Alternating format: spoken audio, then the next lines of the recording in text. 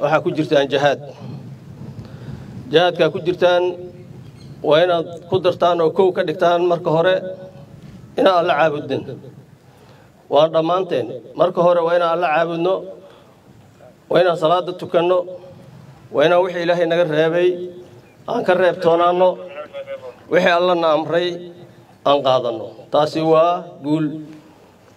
Intaa haddaan samayno waa guulaysana cadow kasta iyo cid kasta oo markaan naga hor timaado xaqiiqata waa ka guulaysanaynaa maxaa yeelay waxaan ku xidhannahay allihiina abuuray. Waxaan idin farayaa inaad salaada tukataan inaad soontaan inaad macsi iska ilaalisaan. Intaasi waa alla ka cabsi isfariddiisa ma weligiin xasuusnaada allihii idin abuuray. Alla wuxuu dunida noo keenay inaan caabudno oo keliya waxa kale oo dhan isagaa naga ballan hadday tahay caafimaad haddii ay tahay irsaqaan cuni lahayn haddii ay tahay guushi uuna siin lahaa guushana alla wuuna siinayaa. Waxaad meeshaan u joogtaan intaa horta allaha nagu anfaco intaa kadib waxaad meeshaan u joogtaan waa garanaysaan waxaad ilaalinaysaan dalkiinna dadkiinna iyo diintiinna. Habeen iyo maalin waxaad u taagan tihiin waad ogtihiin. Waxaad tihiin ciidanka xoogga dalka soomaaliyeed. Waxaadna ilaalinaysiin dalkiinna iyo diintiinna iyo dadkiinna dhibaatada dadkiina lagu haya ayaa u taagantihiin inaad cadowga ka dhicisaan. Waan idiin mahadcelinaa boqolkiiba boqol. Aniga mar dhow waa lay magacaabay ciidankii koowaad oon soo booqdo ayaa tihiin sidaas waxay idiin caddaynayso. Jannaale ciidanka joogo iyo afar iyo tobankii oktoobar marka horeba inaan la socday sharafta ciidanka xoogga dalka soomaaliya dhexdiisa ay ku leedihiin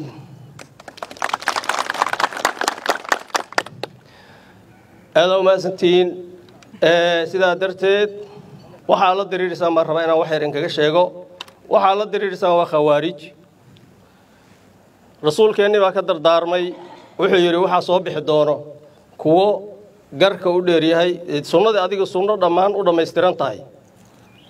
Qur'aankana aad u akhrinayo salaada tukanayo cibaadaysanayo laakiin iimaankooda uusan qurqurka dhaafsiisanayn. Waxaana la yidhaahdaa khawaarij fiicnaan lahayda markaas in aan joogo.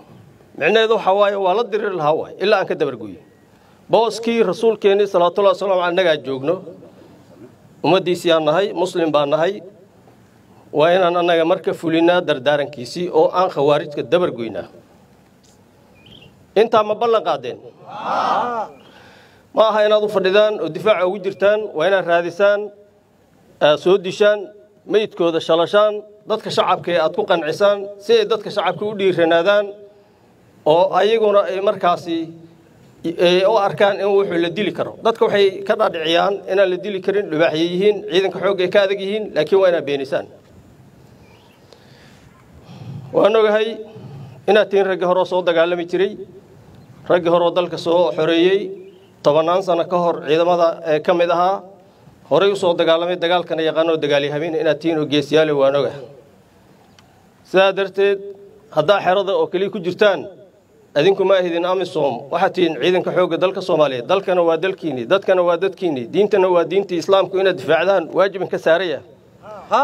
Waajib soon kama saarna diinta islaamka inaad difaacdaan dadkiinna inaad difaacdaan soo waajibin kama saarno. Dalkiinna inaad difaacdaan soo waajibin kama saarno. Sidaa darteed ha u fadhinina xerada ha ku jirina israaca widaysta soo laaya cadowga adinkoo guul wado mar kasta cadowga ku soo laabta. Waan ogahay hadday insoo hawaystaan inaad cashir laba ilaa waana u qorisaan horeyna waa ugu qori jirteen. Aadaa umahadsantihiin